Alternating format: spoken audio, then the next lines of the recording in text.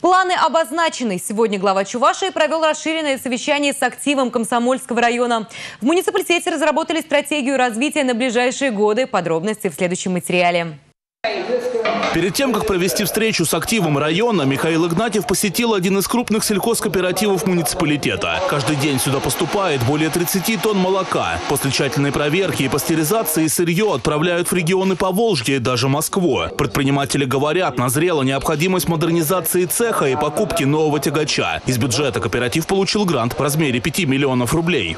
Вы стратегически прикинули, как будете конкурировать э, потребительском рынке? Потому что надо же одно дело собрать, другое дело надо продавать. Ну, пока планы есть, вроде договоренности тоже есть. Как бы, ну, рынок уже поделен, таких прям сильных изменений, я думаю, не должно быть. А в этом сельхозкооперативе молоко не только продают, но и перерабатывают. Здесь производят кефир, сметану и творог. Спрос на местную продукцию растет, ее реализуют и в сетевых магазинах. Понятно, охлаждение, очистка, а цельномолочной продукции, вот такие пакеты, сколько 12 перерабатываете? 12 тонн. От общего количества? Да, да. Каждый пятый килограмм просто перерабатываете. Да, да, да. Остальное что делаете? Остальные реализуем Саратов, Волгоград.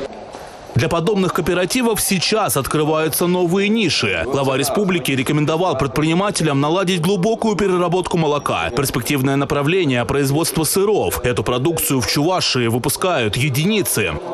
Здесь вот сегодня был обсужден вопрос, что надо объединяться.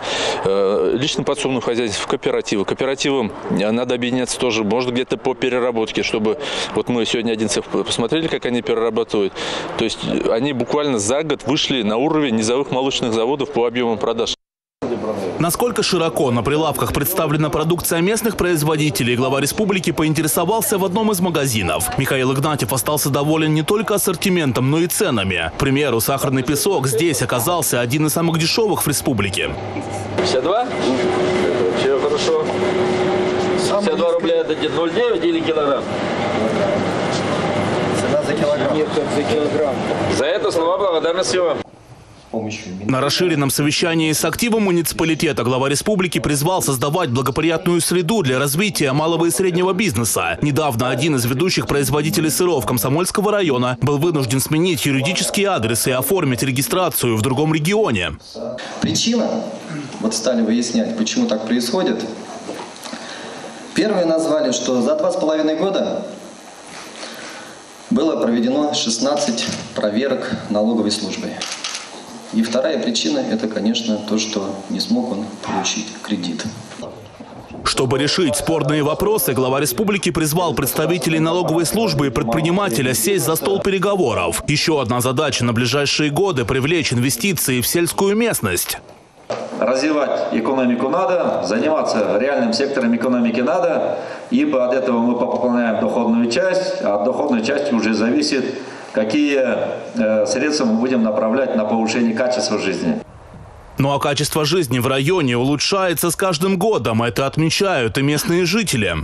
Люди сейчас строят, конечно, добротные дома. Это очень хорошо. Все собирают. Вот. Строят дома хорошие. И, и э, нынче вот э, завершается строительство школы Альбуч Рюбееве.